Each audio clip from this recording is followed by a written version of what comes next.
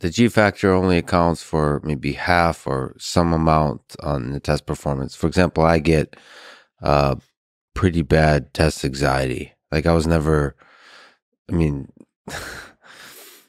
I just don't enjoy tests. I enjoy going back into my cave and working. Like I've always enjoyed homework way more than tests.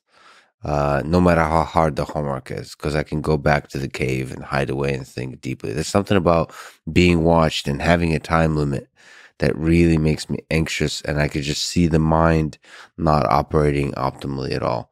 But you're saying underneath there, there's still a G factor. There's No still question. There's no no question. boy, And if you get anxious taking a test, many people say, "Oh, I didn't do well because I'm anxious." yeah, Uh, you know, they- I hear that a lot. Yes. Say, well, fine. If you're really anxious during the test, the score will be a bad estimate of your G factor. yeah, It doesn't mean the G factor isn't there. that's right.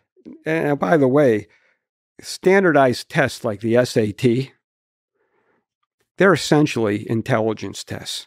They are highly G loaded.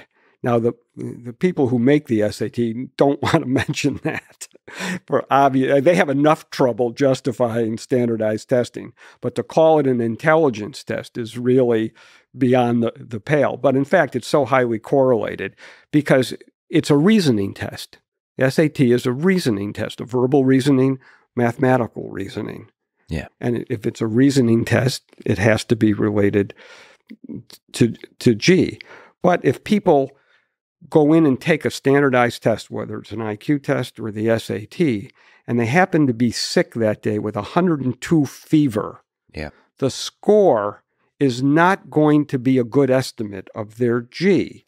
If they retake the test when they're not anxious or less anxious or don't have a fever, the score will go up and that will be a better estimate. But you can't say their G factor increased between the two tests. Well, it's interesting. So the question is how wide of a battery of tests is required to estimate the G factor well? Because I'll give you as my personal example. I took the SAT and uh, I think it was called the ACT where I was too also. I, I took SAT many times. Every single time I got a perfect on math. And verbal, the time limit on the verbal made me very anxious. I did not, I mean, part of it, I didn't speak English very well, but honestly, it was like you're supposed to remember stuff. And like I was so anxious. And like as I'm reading, I'm sweating. I can't, you know, that like, um, that feeling you have when you're reading a book and you, you just read a page and you know nothing about what you've read because you zoned out.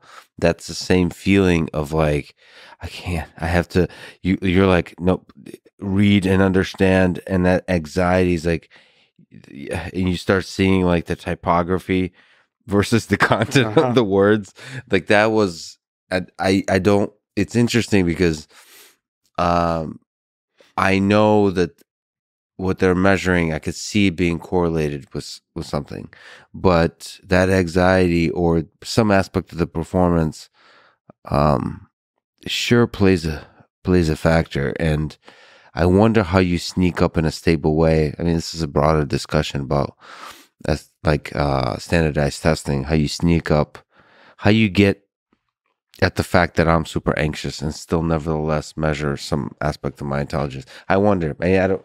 I don't know. I don't know if you can say it to that. That time limit sure is a pain. Yeah. Well, let me say this. There are two ways to approach the very real problem that you say that some people just get anxious or not good test takers. By the way, part of part of testing is you know the answer, you can figure out the answer, or you can't. Right.